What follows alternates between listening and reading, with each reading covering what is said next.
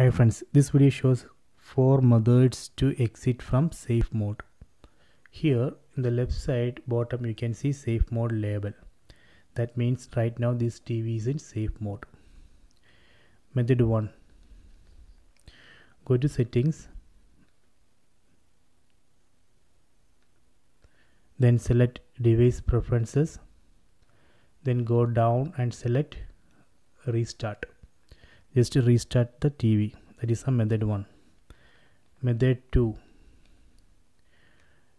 just unplug and plug the power cable or power off and power on the TV that way we can exit from the safe mode. That is the method 2 method 3 go to settings then select apps then select see all apps then from this list we need to uninstall all unwanted apps or the apps which you installed recently. Uninstall all those apps then just power off and power on the TV so that is a method 3 so let me go to method 4 this is the last method. Again go to settings then select device preferences then select about then select reset.